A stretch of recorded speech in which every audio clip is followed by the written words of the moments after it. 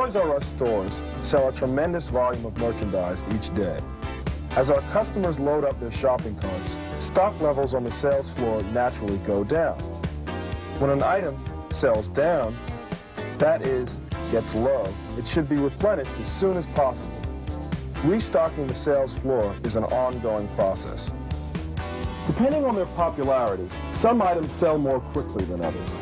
These hot sellers need more attention to ensure there's always stock on the sales floor. When you're restocking shelves, first use any loose individual pieces that may have been placed on the gondola overstock shelf to fill empty spaces. If an item is really low, full cartons of merchandise should be pulled from the storeroom. Check the price on the goods to ensure they match those already on the sales floor.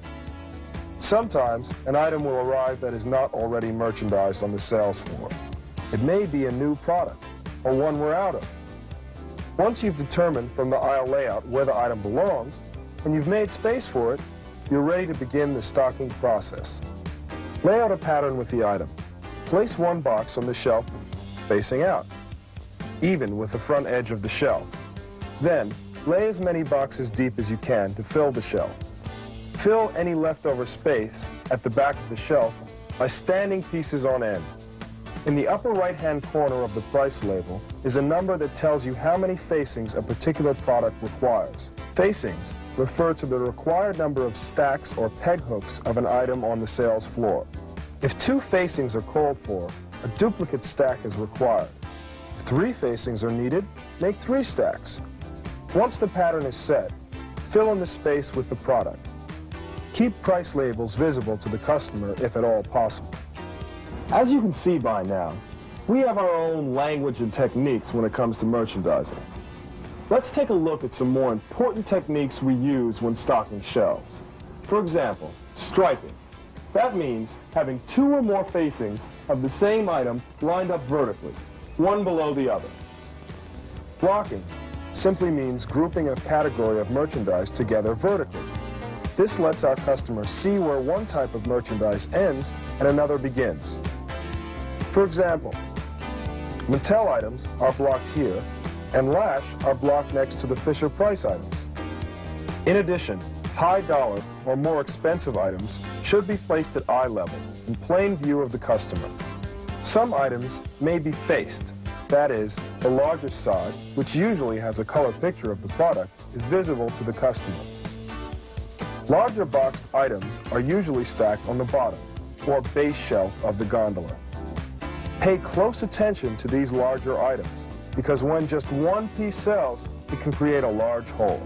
Sometimes we merchandise larger boxed items by a means called bulk stacking. A bulk section generally has no shelving and allows for a larger quantity of these boxes to be stacked to a height of 6 foot 6 inches. An optional bridge shelf can be added. Now, what about leftover items? If the sales floor is fully stocked, then extra pieces can be stored on the gondola overstock shelf, the top one, up there. To take more advantage of the overstock shelf, full cartons should be zipped open and placed on the shelf. A carton is zipped when one side is cut away to expose the merchandise inside, making a much more eye-pleasing merchandise display. Loose pieces should go on the top of any zipped cartons. For safety reasons, weight sets, skates, in general, anything heavy should not be put on the overstock shelf. If possible, do place mostly slow-selling merchandise on the overstocks. If an item is hot, you don't want to put a carton up on the overstock, then have to bring it back down to fill a shelf later the same day. And it's always important to keep work areas neat and free from boxes, trash, and supplies which might block the path of the customer. Keep all boxes to one side of the aisle when working. As you can see, keeping our shelves fully stocked is high priority. No stock on the sales floor, our customers can't purchase the items they want. We need to merchandise our products in a way that is appealing to our customer and maximizes every square inch of available space available on the sales floor for our products. The aisle layouts are a tremendous help, but since it's our usual policy to keep the shelves fully stocked, You may sometimes find that space allotted for one item is filled with something else. The layout says this should go here, but there's no room. What do I do? Making space to display all the items we sell isn't always easy. It can require some ingenuity on your part. Frequently, you'll have to rearrange merchandise in an area to make the space you need. Begin by tightening everything already on the shelf. There should be no empty spaces between or behind merchandise. We can't sell empty space. That gives me a little more room, but I need more. Now what? An easy way to make space is to remove duplicate stacks of a particular item. So if you've got two stacks of an item, pull one out. You need to ensure merchandise is given the correct number of facings. Facings refers to the number of stacks or peg hooks of an item's merchandised on the sales floor. This Fisher-Price item has two facings. This Fisher-Price item has just one facing. The price label on the item tells you the required number of facings. Use any extra pieces to fill existing stacks or put them on the gondola overstock shelf for later use. Now that helps. I'm really on a roll. Look for boxes that are placed long ways on the shelf. Turn them so the short end faces out and you're freed up even more space. Remember to condense and tighten merchandise as you go. What about these few pieces? They're taking up an awful lot of room. When an item sells down on the sales floor, and you've determined there's no more in stock, take the remaining few pieces and place them on the top of a stack of similar size merchandise. Be certain the lower item has a duplicate stack nearby. This is called underbasing. If you come across partial stacks of several similar size items and there is no more in stock, combine them into a single stack. This is called shuffling. This mixed stack of merchandise should be placed on the prime selling shelf directly below the overstock shelf to maximize its visibility.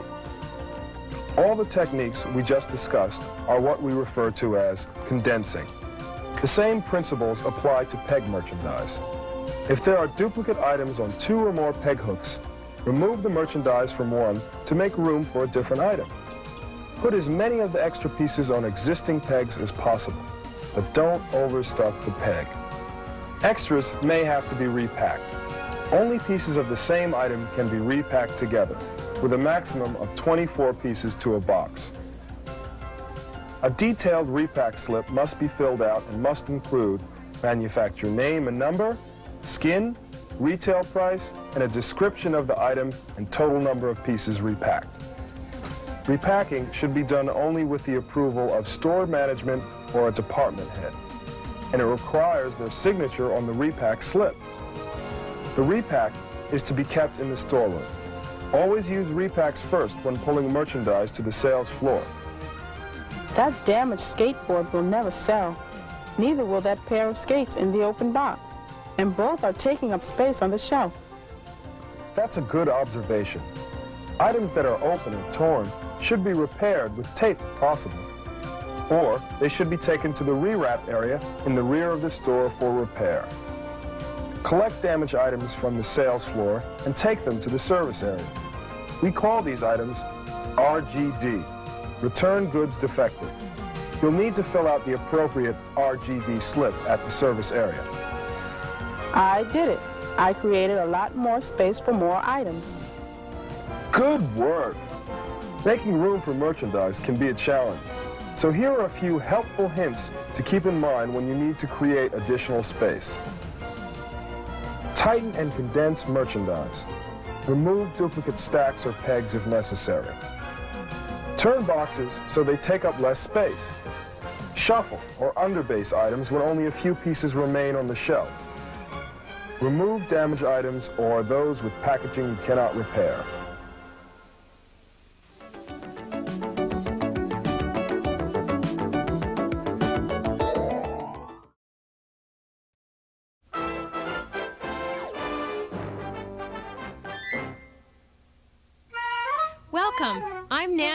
Halprin, Vice President of Sales and Marketing for Hanna-Barbera Home Video.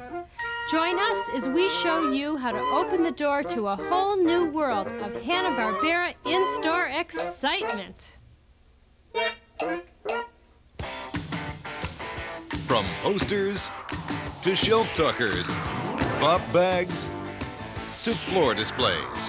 Hanna-Barbera in-store materials set the stage for a profitable relationship with your customers. It's no fairy tale. Your video store will be magically transformed into a profit-boosting Hanna-Barbera environment. Our story begins with our theatrical-sized posters. They feature classic cartoon superstars, and their versatility makes them a perfect first chapter for your success story. Roll two posters into a tube and staple the ends. Attach at the top and bottom of another poster and you've got a custom attention grabber. Use your imagination to create other displays.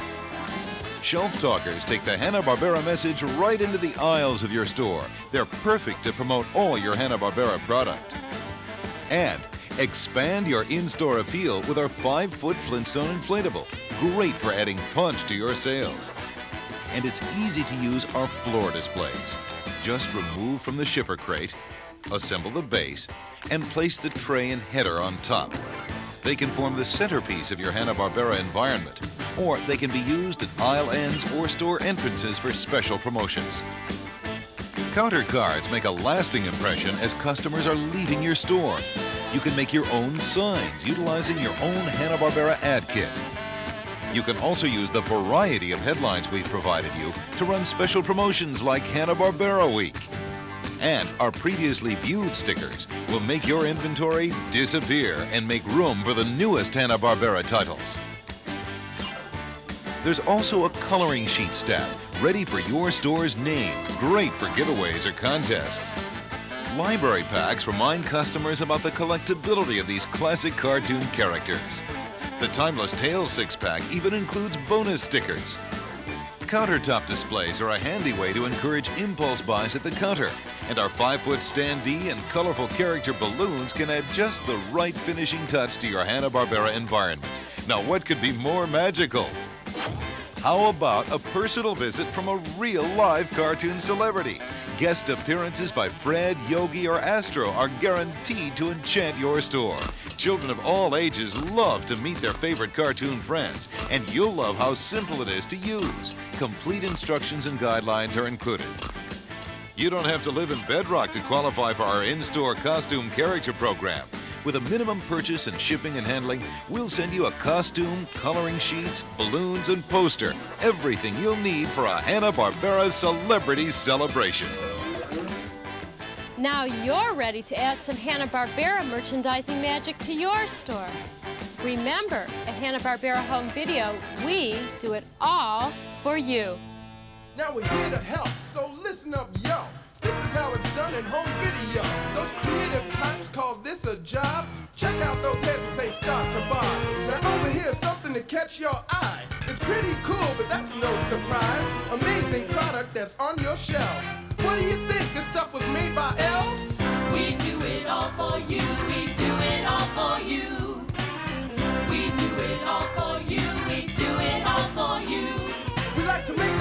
Customers feel at home. If there's an order you need, pick up the phone. We process fast, that's no lie. You won't wait long, it will arrive, cause our inventory rooms always stocked. Our doors are open, all you do is knock. We've got posters, costumes, so understand it's all here for you if you need a hand. We do it all for you.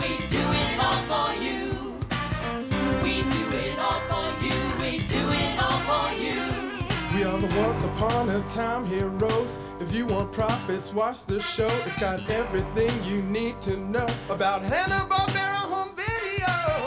We do it all for you. We do it all for you.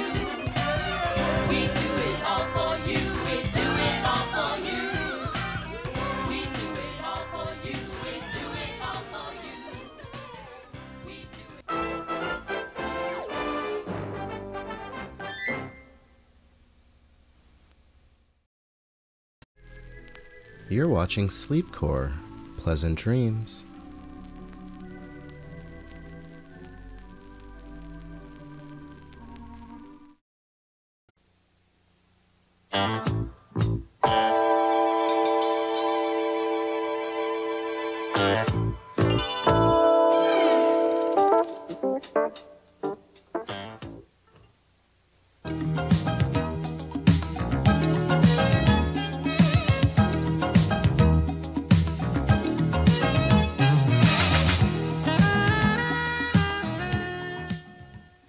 Now that's an eye-catching display, and that's important because everywhere you look, you see stores vying for the customer's attention. Retailers use displays to create impact, generate enthusiasm, and induce customers to buy. Nowhere is this more noticeable than in apparel merchandising of men's, women's, and children's fashions. The appealing display of the product is an extremely important element of the sale. Fashion retailing is a competitive business, and we have to be smart, aggressive merchandisers to succeed against the tough competition that you see in your market every day. You have a dramatic impact on the success of that fashion merchandising effort at Sears. There are a few simple things you can do to ensure that your fashion area looks attractive for your customers every day. This video covers five key aspects of fashion merchandising. We'll see what they are, how to use them, and discuss the simple things that you can do to keep them working effectively in your store. We'll start by discussing the general concepts of issue merchandising and color merchandising. Then we'll focus in on the back walls, the strike zones, and the fashion expression areas of the sales floor. Basically, issue merchandising is the grouping of like goods together on the sales floor. It's a collection of merchandise that is related in some way. For example, it could be a product-related issue, such as men's slacks. The issue might be related by style, such as two-piece jacket dresses. It might be related by fabric, such as men's flannel shirts, or fleece robes in Division 38. Or it could be related by brands, such as our Goolagong activewear. All of these are examples of merchandising issues. In some cases, issue merchandising also means putting together products that work well together and that are or can be sold together. Now, this would include the coordinate and assortment merchandise found in our Stephanie and Tiegs branded collections. Men's hats, scarves, and gloves, on the other hand, are good examples of non-branded assortment merchandising. Whatever the issue, garments usually are organized in the general to the specific, and the typical issue normally follows a pattern running from silhouette to style to color, and then finally to size. Color merchandising is exactly what the name implies, the grouping of items together by color. These can be either similar products, a traditional example of which is sweaters, or they can be products that would work well together, such as a women's coordinate group that includes pants, skirts, and tops. Notice that color merchandising includes color families and combinations, not just solid colors. Since most issues come in more than one color, color merchandising simply is a more specialized form of issue merchandising. There's a basic form of color merchandising. It's called color blocking. Products are displayed in a single color group, like this quad rack, in cubes, on shelves, in bins, or on walls. To maximize impact, color blocking is usually used on items with lots of tonnage. Color merchandising racks try to keep color families, such as pastels versus brights and similar colorations, together if possible. The importance of the back walls cannot be overstated. They are integral elements of each department that identify an area by making a strong visual impression on the customer. In essence, back walls define the area, make a dramatic statement about the product, and convey the message that Sears is definitely in the business of selling that product. Back walls should create a strong visual interest which provides the primary motivation that draws customers off the main aisles into and throughout the department. Back walls provide the backdrop for all other merchandising techniques and are examples of issue merchandising at its best. Our competition usually has smaller, narrower stores with three walls close together. We only have one wall per department, so it has got to be the best it can be. Since dominance of product is the key objective of every back wall display, you want to limit the number of issues so the fashion message is clear. The height of merchandise on wall displays is critical as well. You want to merchandise as high as possible for visibility, yet still keep the products accessible to the customer. Also, the top of the merchandise on the uppermost row should be even. long runs of product should be enhanced with display breaks, which are used to highlight the merchandise. The inclusion of signs, graphics, mannequins, and other elements in these breaks add impact to the back wall. Spotlights are frequently used to draw attention to the individual elements of wall displays. Be sure they're focused on the right merchandise. Most back wall displays are continually changing. As new items arrive in your department, they should go onto the back wall. The old goods should come off the wall and onto the immediately adjacent racks. The racks are then constantly consolidated according to color and issue. The specific guidance for your back wall treatments is given in Fashion Expressions. A strike zone is a focal point for an entire shop. It generates interest by creating a break on the sales floor from the rows of Space Saver racks. Strike zones are designed for one of two purposes. First, there are the hot issues, normally your most high fashion merchandise that will remain in place as long as your marketplace supports it, such as this presentation of Levi's 501s. The other type of strike zone is a permanent location for a high profile Sears national brand, such as Stephanie. The strike zones are not meant for tonnage. Instead, they're designed for impact, for the fashion statement of a strong, dominant issue. The merchandise is normally displayed on freestanding fixtures or walls containing upright panels for dominant signing. The height and width of these panels interrupts the pattern of a well-gridded department, setting the area apart. Contrasting carpeting also helps to define the strike zone area and further set it apart. The addition of racks or glass cubes on the carpet areas helps to create a complete shop within the strike zone. Other fixtures and equipment can then vary according to the merchandise arrangement policy recommendations for the specific merchandise. Strike zones employ overhead signing for additional impact and use spotlights to help bring color and merchandise alive. Fashion Expressions is a monthly publication that addresses the appropriate and fashionable use of mannequins and display elements to highlight those issues that are most important to each department. These areas create focal points that show the merchandise to its best advantage, and Fashion Expressions helps you to work with the display department to dress them properly. It provides photos of recommended main aisle and back wall mannequin presentation treatments that you should implement, and it also shows photos of mannequin alternatives. When implementing fashion expressions, remember that these displays should always be accessorized for maximum impact. Accessorizing should encourage customers to shop, not deter them from shopping.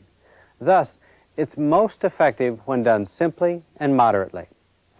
Mannequin displays should always be signed and should be updated as new merchandise is received to keep them looking timely and fresh. In addition to detailing mannequin treatments, Fashion Expressions illustrates how to accentuate and work with your end caps and also wall displays. Copies of Fashion Expressions are available through the display department or from your sales manager. Regardless of whether products are issue merchandised or color merchandised, whether they're on the back wall, cubed, and strike zones, or on grid racks, there are three techniques that you should always implement to reinforce the overall merchandising effort. The first of these is layering. Layering is the combining of two or three items on a single hanger to create outfits that give customers an idea of how the merchandise can be worn. Layering demonstrates the versatility of garments. It quickly suggests mix and match possibilities, and it also encourages add-on sales. Layering is most frequently used when issue merchandising, and it can be done on any fixture or display element. When done on a column with a broad shoulder wardrobe hanger, a complete outfit may be shown. It very visibly highlights surrounding merchandise. When done on space saver racks, layering is used on the first slot of the waterfall facing the main aisle. A second technique is known as blocking. Blocking ensures that your shelves are full, neat, and ready for business. To block merchandise, simply pull the goods forward on hooks or trays so they look as full as possible. It's a simple technique, but one that makes well-shopped displays look neat and attractive. The final technique is known as feathering. The opposite of blocking, feathering helps give the impression that the racks aren't too full of merchandise. Racks that are too full may discourage the customer and may imply that the product is of inferior quality. To feather a rack, simply put your fingers between the hangers and spread them out evenly on the arm.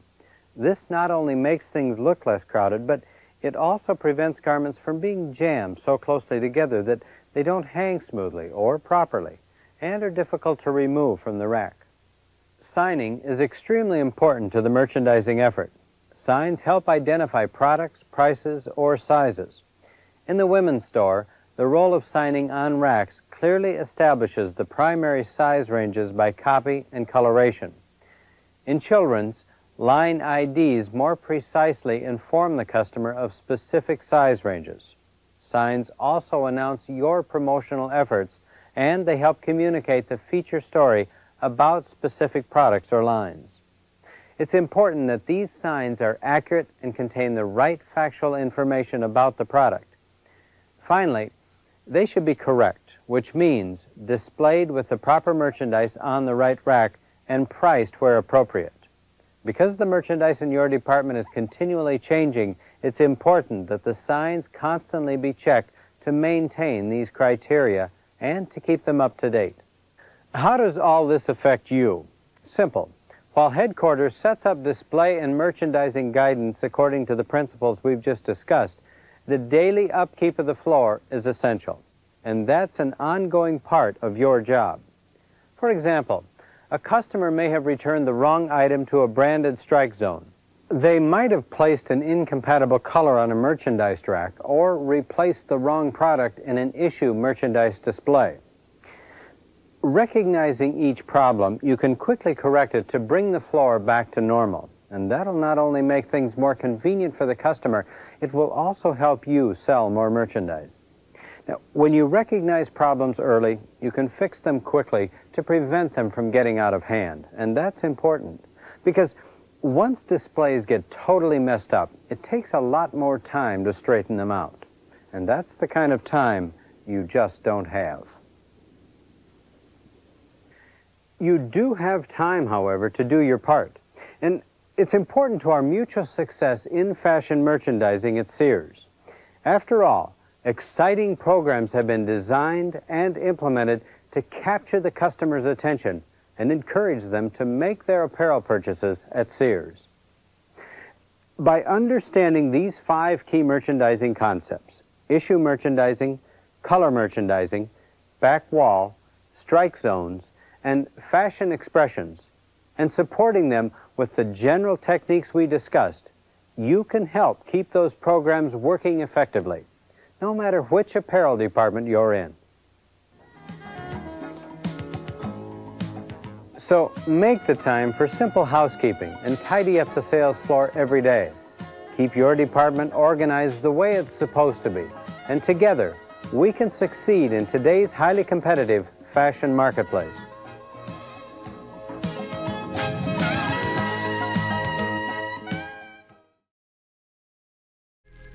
You're watching Sleepcore, media for insomnia.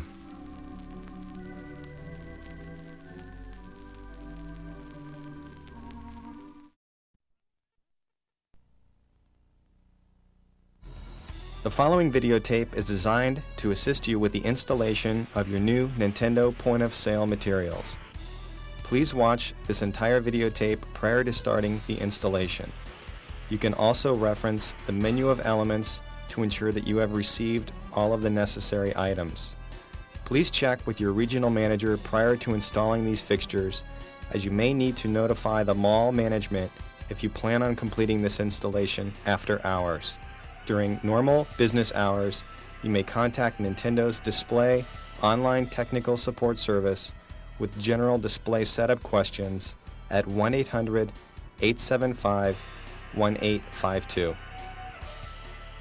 Prior to installing the Nintendo fixtures, you should re-merchandise the product in the front of your store as pictured here.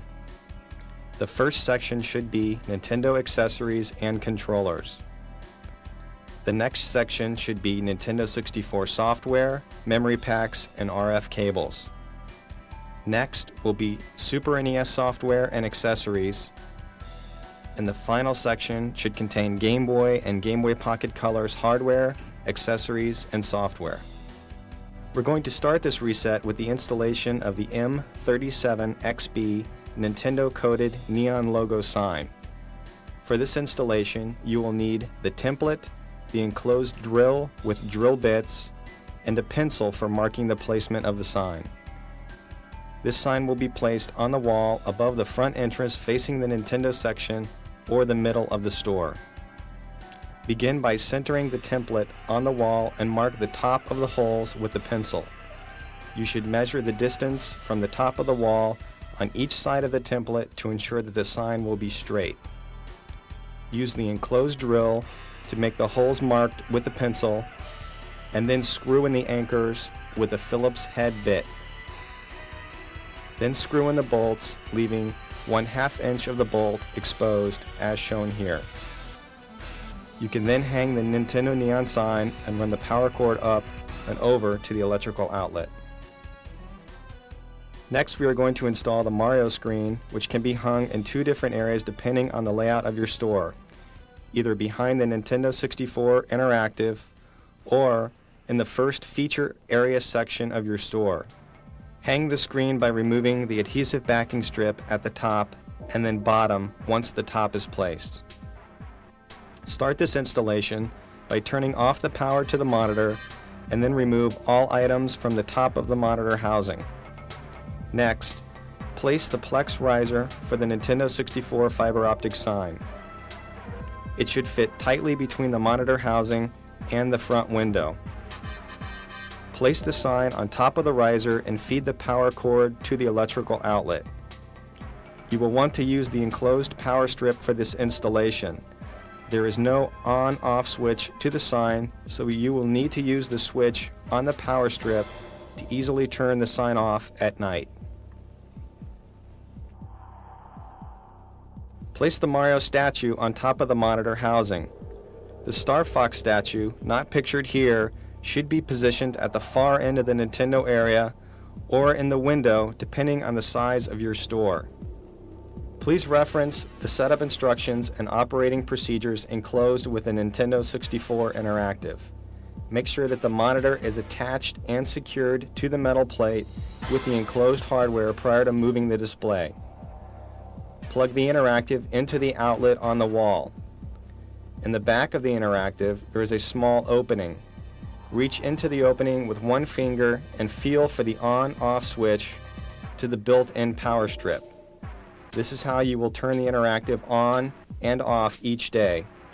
You can then slide the Interactive into place. You may need two people for this installation. Please reference the setup instructions for the Nintendo 64 Interactive. There are four Valance graphics that need to be installed over the corresponding areas. There is one each for the four areas including Nintendo accessories, Nintendo 64, Super NES, and Game Boy Pocket colors. The signs hang simply by using the hooks designed for your store's slat wall fixturing.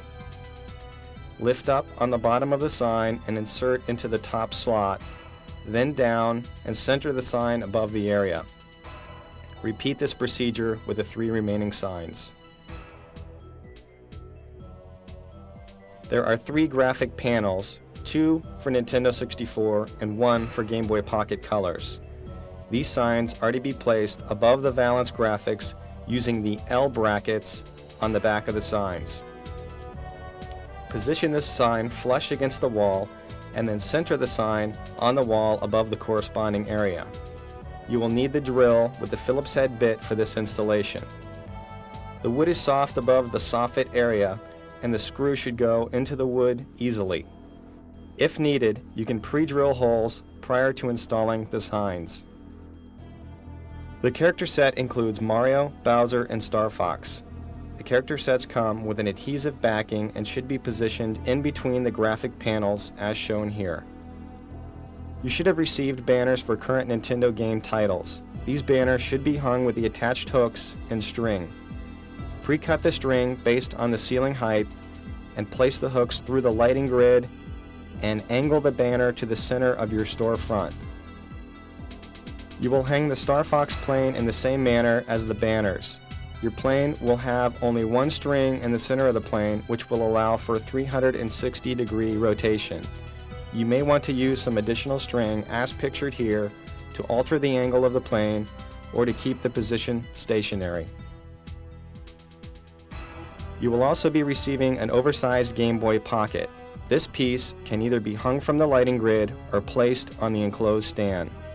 This completes the installation of the Nintendo merchandising reset.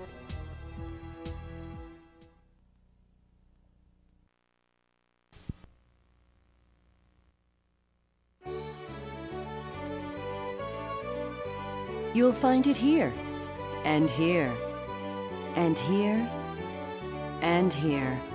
Quality in every detail. It's everywhere you look at Casablanca.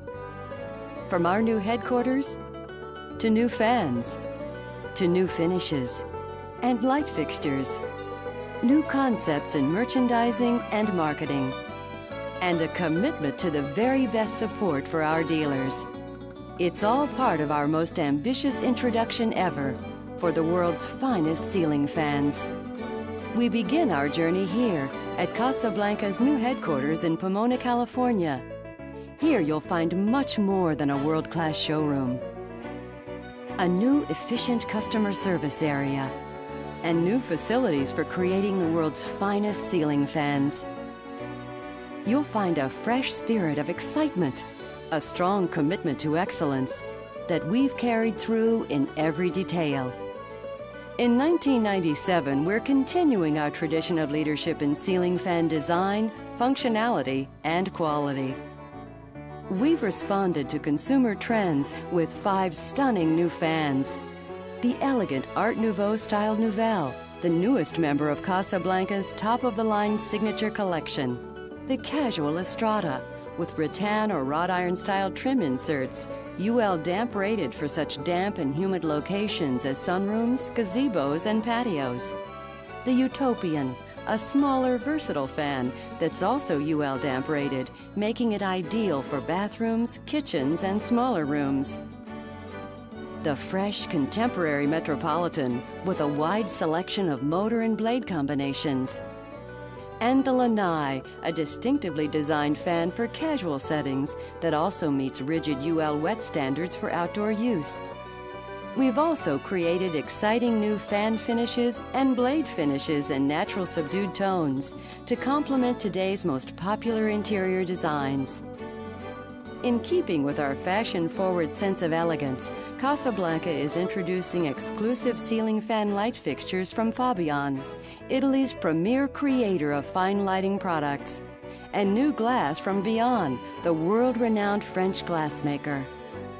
Here is another Casablanca exclusive, the powerful XLP 2000 motor, which provides enhanced performance and efficiency with quieter operation and increased air delivery. It was designed, developed, and manufactured by Casablanca for Casablanca fans. And there's much more in store for you in 1997. Here is Casablanca's functional new ceiling fan display, the perfect way to present a strong display of the world's finest ceiling fans and fan controls. A new catalog that's as practical as it is beautiful. An exciting new ad planner.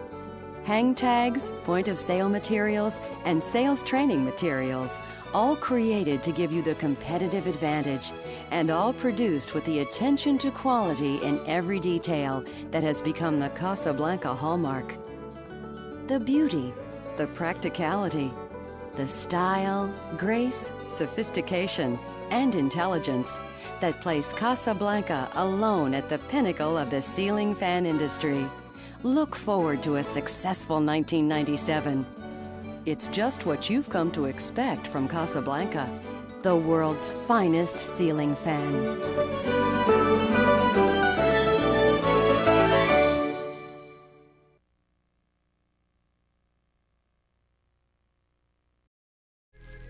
You're watching Sleepcore. Sleep tight.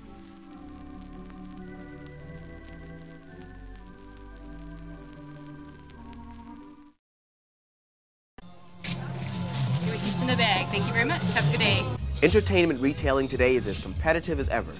New configurations and products are making the in-store presentation even more critical.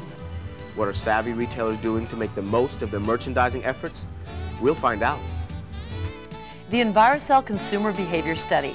This large-scale inquiry into the minds and attitudes of our own customers was conducted by the Envirosell research firm for the NARM Recording Industry Association of America Merchandising Committee. This study has given us an inside look into the retail buying process. In our second segment, you'll find out what hidden cameras and exit interviews revealed about shoppers' behavior. And we'll learn how to turn the Envirosell study recommendations into profit-making designs, all on In Store Today.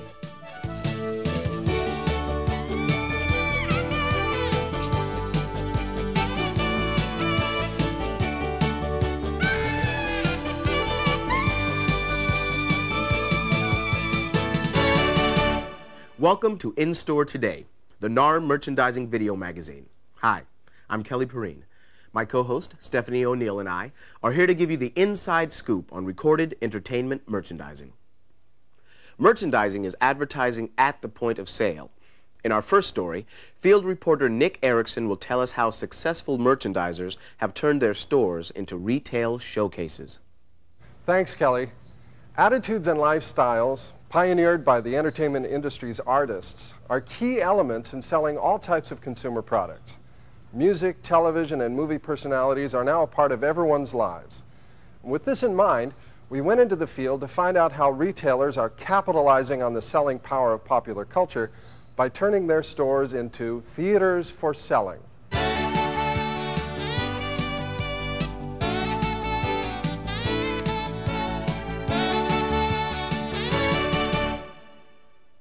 The theater for selling starts with the stage, the retail space. The breadth of home entertainment products and retailer services are making many stores an entertainment destination for consumers. In this store, each area is clearly laid out for consumer access. Display and product areas reinforce each other. All configurations are available and cross-merchandising between audio and video products is easily seen. The cashier area fits in with the store's overall traffic flow, providing convenience and room for display space. Traffic flow and sightlines are a big part of this store's stage setting. Consumers are invited in with attractive displays and lighting. The outer one-third area of the store features displays and product information drawing the consumer into the store. Once inside, consumers have clear sightlines to the rest of the interior. Signs and lighting direct the consumer to the products easily identified by category, configuration, and artist. In this store, special interest areas such as singles, children's, or soundtracks are designated by special fixturing and signage. By positioning these areas towards the rear of the interior, consumers can be drawn deeper into the store. Nothing says showbiz like lighting, and here the spot, display, and accent lighting really tell the consumer that the show is on. In this store, spotlights focus on displays and product areas, the stars of the show. Accent lights, chasers, and border lights define displays and interior design features. Backlit posters can enliven flat art. The general interior lighting covers the rest of the retail space for maximum traffic flow and product visibility. Theatrical style lighting focuses the consumer's attention on the products and sets the stage for that buying decision. Good product access is part of the act. Here, CD and cassette browser bins, shelving, step downs, and waterfalls offer exposure and entice the consumer to get their hands on the product. The entire focus of the product presentation is to maximize eye appeal and consumer interest. Effective merchandising gets the product into the consumer's hands, which is 50% of the sale. Retailers work very hard at creating a unique identity for their store. Whether it's a single outlet or a multi-store chain, store identity is a crucial factor in coordinating all of the advertising and merchandising efforts to create a single impression for the consumer. I spoke with Terry Woodward, president of Waxworks Disc Jockey, and asked him what elements make up your store's identity. We feel that in today's retail environment that a music retail store should make an exciting visual and high-tech presentation. Our stores utilize utilizes clear and concise signage as well as attractive neon lighting. We also utilize TV monitors, listening posts, electronic information system, and other interactive technologies. Since we sell entertainment, we feel that we should create an atmosphere that emphasizes that fact. The retailer's identity starts with the exterior signage and store entrance. Consistent graphic repetition of store logos used in print advertising reinforce the sales message. Once inside, the interior signage, posters, personnel identification, flyers, and anything else that carries the store's name clearly reminds consumers of the store's identity. Signage is essential to direct consumers to the categories and products in which they are interested. Store atmosphere is an unspoken but important part of encouraging consumer browsing. Retailers who plan their stores with an inviting interior and remain consistent in all aspects of merchandising and fixturing typically get the best results. Colors and materials have an influence on consumer attitudes. Neatness counts here too, as clutter can confuse the consumer. In-store play establishes a musical atmosphere and can direct a consumer's interest to an impulse sale. Whether it's a store-wide system or a personal listening station, in-store play lets consumers sample the product before buying. Video is also a big part of the in-store play picture. Effectively used, video monitors can be a dynamic, moving segment of the merchandising mix. In-store displays are a key element in showcasing the stars and their products. Whether wall displays, windows, end caps, or freestanding, merchandising displays are advertising at the point of sale. The best of these displays direct the consumer to the product. Hi, this is uh, James Miller. He's the general manager of the Tempo Crenshaw and Tempo USC stores. Uh, James, uh, we're curious about how you decided to choose the displays in your store as it relates to the sales of your items. Whatever merchandise that we are trying to push at that particular time, we generally take an end cap and we place that merchandise within that space so it will tie in with the boards. Uh, at various times we do the hangings uh, to tie in with the sales merchandise and try to lead the customer to that particular space. Windows or mall store entry displays are the first chance to grab the consumer's attention. Windows and entry displays are big, clear, and readable from a distance. They bring star power to the store's marquee. Notice here how effective use of interior lighting has reduced reflections and increased readability. These wall displays take maximum advantage of the display graphics provided by the labels and are accented with a dedicated display space and display lighting. One step beyond are these exciting store-made displays featuring graphics from the product and related images. A big sell feature in most stores are end caps. These prized merchandising areas combine the high visibility of display graphics with the product stocked in depth and in all configurations. End caps are used to focus on sale themes including artist and label specials, sale items, and new releases. Freestanding displays are a chance for merchandisers to work in three dimensions. Walk-around displays can include product from every angle. Shelf talkers and divider cards are pinpoint display opportunities to direct the consumer to the product. Counter displays are one last chance for an impulse sale with consumers as they are checking out.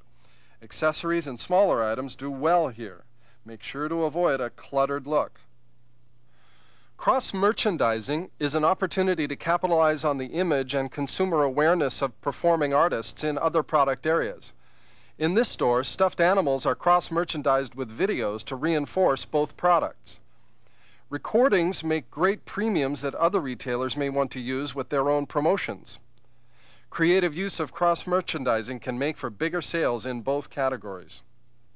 All of the elements of successful merchandising come together in a campaign which combines advertising, promotion, and merchandising into a single unified sales effort.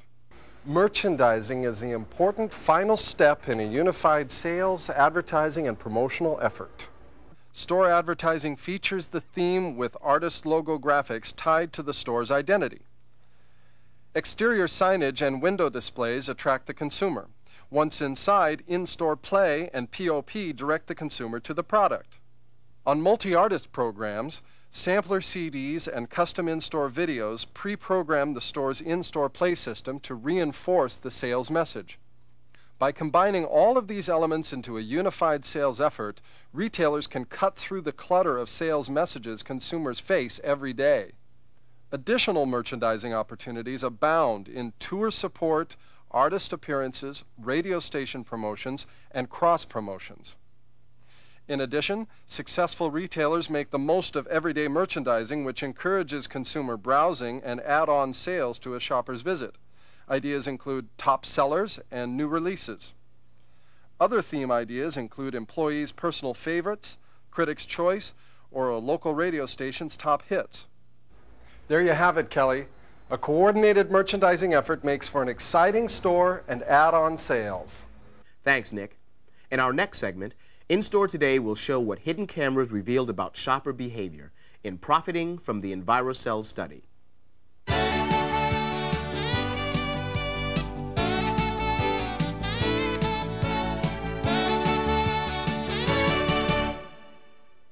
This document is the Envirosell Consumer Behavior Study, a detailed report on actual consumer buying patterns in retail stores as captured by hidden cameras and with follow-up interviews. Envirosell was chosen by the NARM RIAA Merchandising Committee to research the impact that the changes in configurations and products have had on the consumer. Three target locations were chosen, and researcher observations, reinforced by hidden cameras, have given us a fresh picture of how consumers are selecting and buying recorded entertainment products. I set out to find how experienced and knowledgeable retailers are using these findings to increase their sales and profits. I'm here at the Hollywood Virgin Megastore, and one of the first things I found is that sightlines and placements are as important as the artwork itself in creating effective POP displays. Consumers are coming into stores hungry for information. Interiors, which create space for displays and keep the sightlines clear, are making big points with consumers. It all starts with the windows. Window displays need to be big, simple, and eye-catching. Whether consumers are walking or driving past a retail outlet, they need billboard sized graphics to catch their attention. Sightlines are critical here, as intervening traffic can obscure the lower portion of window displays. This graphic overlay shows how keeping the headline in the top one third of the window display area helps consumers get the message, even if the view is partially blocked by pedestrians. Lighting is another factor in window visibility. Daytime lighting combined with awnings lets consumers see through the glass to the display. Other stores have featured artistic blow-ups of cover art as a fixture in their exterior image. Inside the store, sightlines and traffic flow combine to create the most effective POP areas. Image displays are designed for maximum visual impact and quick readability. Big logo graphics, Artist photographs and striking designs combine to create an individual identity for the artist or album. The product should be placed in or near the display to reinforce the sales message. Image displays can be read at a distance and need clear sightlines for the consumer. Flexibility in design and in poster elements can help get the artist's name into the consumer's eye when the main image falls outside the principal sightline, as in this versatile poster for Tammy Wynette. As the Envirosell study showed, consumers have a narrow beam of focus, and the most effective displays fall into that beam. This graphic overlay shows how narrow the range of a consumer's vision is when compared to store fixturing. Here's an example of bin displays. Note how the sightlines are focused for close distances, and that consumers have little view of the rest of the store when browsing bin displays. Cascaded or waterfall displays have a larger surface area, which shows more of the face of the product. In addition, products in cascaded displays can be seen more easily from a distance. Crowding the viewing distance with obstacles in the store minimizes the effectiveness of cascaded displays. Mobiles and hanging displays create competing interests. On the one hand, a mobile can easily be placed in the consumer's line of vision. On the other, mobiles obscure sightlines to other parts of the store and can create a cluttered image. The use of mobiles should be checked with the store's security policy, as the movement of mobiles can trigger some alarm systems. Clear signage and departmentalization is even more critical as stores are more and more becoming home entertainment centers. The range of choices in this store is an example of the spread of entertainment products. In addition to CDs, cassettes, and even sheet music, there is video, books, magazines, video games, CD-ROM and multimedia products, a children's department, international music, music hardware, and music accessories and film. Truly a one-stop entertainment center. The Envirosell study found that one area of great untapped sales potential is the foreign resident and tourist market. Compared to their own markets, music is an attractive purchase, provided they know that they are welcome, that they can find what they want, and that they can get personal help in their own language. Retailers have found that a small investment in customer service can yield good rewards. At Tower, foreign language signage reminds tourists that deep catalog products are bargains and ask, why pay more? There's no better way to capitalize on the consumer's complete attention than at a listening station. These CD-based players are a modernization of an old idea where consumers can listen to the music before they buy.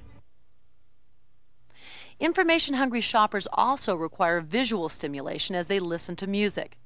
Here's how retailers are using label-supplied materials and their own imaginations to maximize the marketing opportunities that listening stations provide. These brainstorming ideas from Uni Distribution would create listening stations that are flexible in their design and allow space for placing additional information for shoppers. Many labels have added several lines of copy on the artist to the back of their CDs for listeners. These frames from California record distributors were tested to create a showcase for additional information at listening stations. These simple, colorful one sheets from Sony are posted by sales reps at listening stations. Information can include suggested tracks, reviews, event calendars, chart positions, and bios. Customers are attracted to the bright colors. Even more informative are newsletters, which may be placed at listening stations, such as this four-pager created by Rack Jobber Handleman Company for Kmart. Bonuses include discount coupons and even a short customer survey. The response has been terrific. Tower has had many successful results with listening stations and has even used consumer interest to test market new or slower selling products. Combining color copies of the CD booklets into a scrapbook and including reviews and other newsy info on the artist minimizes clutter and has won raves from consumers. Consumer feedback is a big plus with questionnaires or suggestion forms. Discount coupons, special deals on multiple purchases from the listening station, contests, giveaways, and cross-referencing are all potential parts of listening station information packs. In every case, at-hand access closes the sale by putting the product into the consumer's hand. And whether the listening station features samples of many artists or is dedicated to single products, the quality and flexibility of digital technology makes listening stations a high-tech winner. In-store video play is a valuable sales tool. The Envirosell study found that the full potential of video can be maximized by mixing entertainment and practical information. Retailers who intersperse video clips and movie trailers with their own sales materials get the most out of video. But there's more to it than just putting on a clip show. Monitor configuration and placement play a big part in maximizing video's sales effectiveness.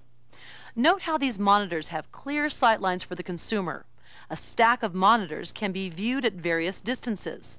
Monitor displays in the front of the store can actually project beyond the lease line in some locations to attract passers-by. Monitors placed at the rear of the store will draw consumers deeper into the store. Once inside the store, one or more additional sets of monitors carries on the video sales theme. Size counts here too.